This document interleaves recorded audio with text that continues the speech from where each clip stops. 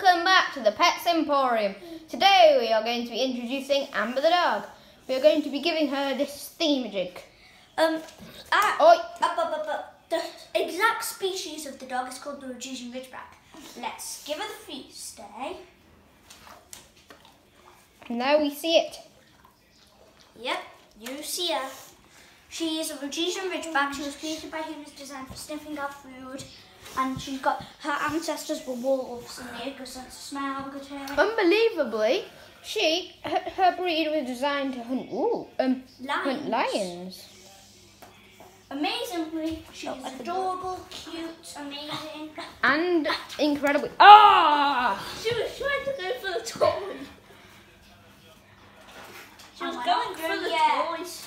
That was an accident. She was going for the What toy. what I'm spying something, what she's looking at. What is she Voila. looking at? Voila! Okay, I'm gonna hide this. What He's, so he's gonna hide it. I'll hold it. I'll. Max, Keep her eyes Tell me when- closed. tell me when you've done, and and we'll. I'm finished. I So now we release her and see if you can. I used the Sniff out. blindfold Amber.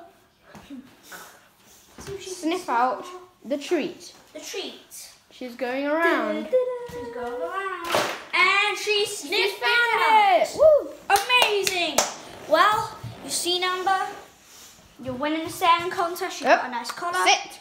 Oh yeah, and there's one more thing you need to know. Sit. Look at that ridge. That's what gives her the name. The ridge on her back. The ridge, Rhodesian Ridgeback is their name. Well, we'll see you next time On Pets Emporium. Bye